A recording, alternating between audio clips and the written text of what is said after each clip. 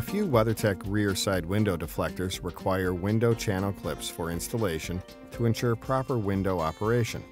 To install the channel clips, choose a location roughly 3 to 4 inches from the front edge of the window opening and 3 to 4 inches from the back edge.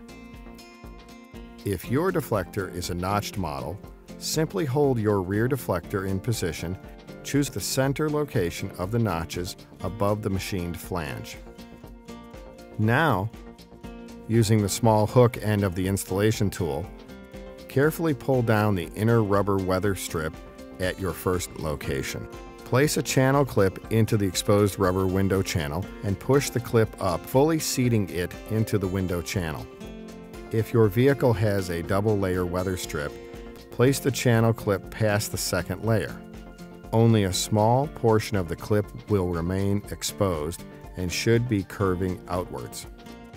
Now repeat the process placing another clip at your second location.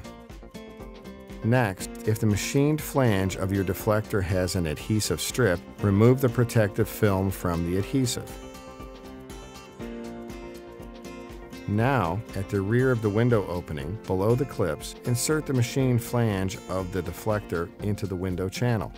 Then pivot the front end up and slide the deflector up into the upper window channel over the channel clips.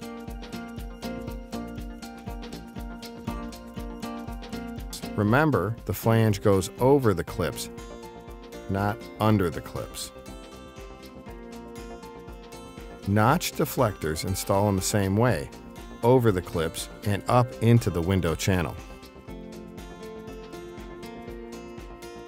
Carefully work the deflector to slide the flange fully upward between the clips and the weather strip.